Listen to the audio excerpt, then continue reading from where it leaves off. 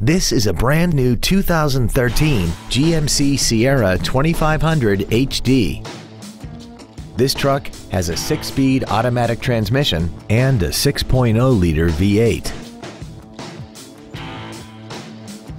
Its top features include a navigation system, Bluetooth cell phone integration, a remote start feature, XM satellite radio, traction control and stability control systems, hill start assist, aluminum wheels, and a tire pressure monitoring system.